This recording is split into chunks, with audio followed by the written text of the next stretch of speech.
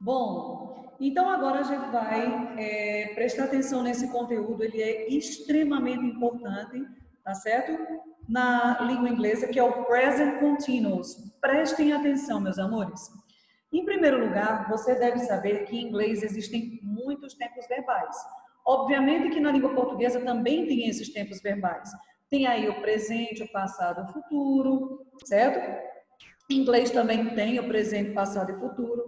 Só que em inglês nós temos um tempo verbal que chama-se present continuous. Nós já demos uma olhadinha nesse tempo verbal. Eu vou dar uma revisão para poder explicar o que, o que vai acontecer depois, certo?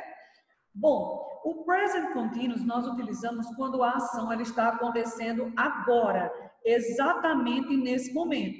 Por exemplo, agora vocês estão tendo aula de inglês. Então, não é alguma coisa que acontece todos os dias. Nós temos aula de inglês toda semana, tá certo? E hoje, nesse exato momento, às 11 horas, vocês estão tendo aula de inglês, certo? Então, para que a gente possa construir frases no present continuous, existe uma formulazinha, existe uma regrinha aonde você precisa observar o que colocar para poder assim fazer frases, falar frases no present continuous. Preste atenção aqui, Conte e Adriana. Olha só, o que que eu preciso, certo? Eu preciso de um sujeito.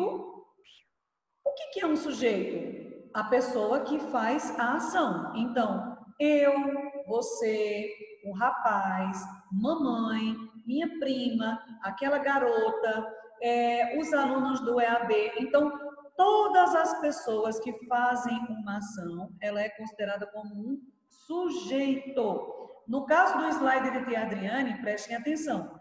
Eu tenho o sujeito I, que é o sujeito eu, em inglês, certo?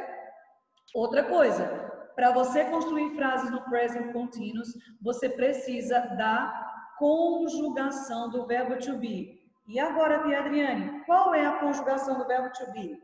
I am, you are, he, she, it, is, we are, you are e they are. Você precisa do am, do is e do are, certo?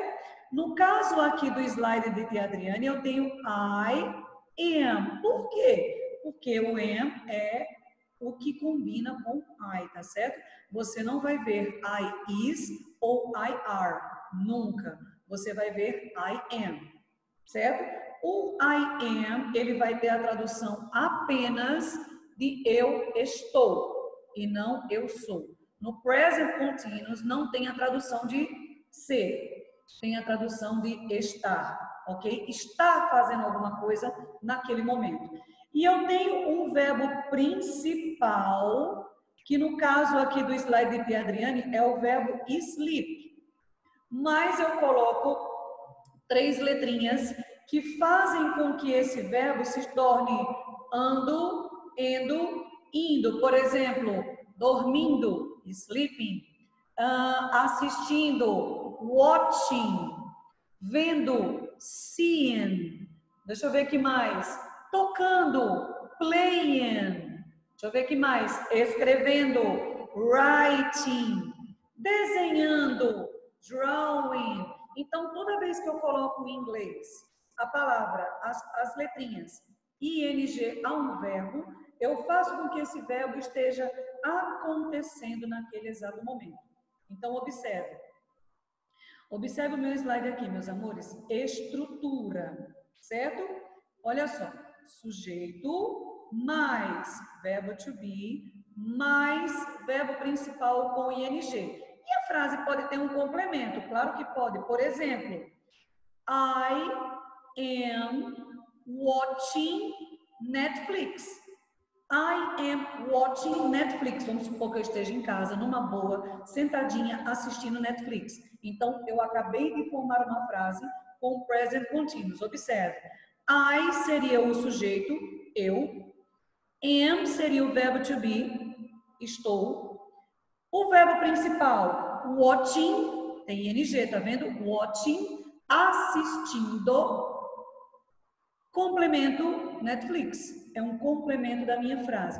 Professora, tem sempre que ter o complemento. Meus amores, nem sempre você precisa desse complemento, tá? Você pode formar uma frase no present continuous sem o complemento também que fica certo do mesmo jeito. Vamos ver aqui. Eu tenho três frases afirmativas. Eu estou é, tendo aula de inglês agora. Eu estou olhando o WhatsApp. Eu estou falando com os meus alunos do sexto ano A. Então, três frases afirmativas no present continuous. Aqui no slide, Tia Adriane colocou o seguinte: I am dancing now. Olha aí para as minhas bailarinas do, do sexto ano. Eu, sujeito, I am, verbo to be, estou. Dancing, verbo principal com ing, dançando. Now, complemento, agora. Beleza? Nós temos menos de um minutinho de aula, prestem atenção, que nós vamos voltar no segundo momento com o mesmo link, tá certo? Eu vou continuar a explicação. Quando parar a explicação, nós voltamos pelo mesmo link às 10, às 11 e 20. Ok, meus amores? Continuando. Segunda frase no present continuous na forma afirmativa. She, sujeito. Is, verbo to be. Dancing, verbo principal com ing, dançando. At this moment,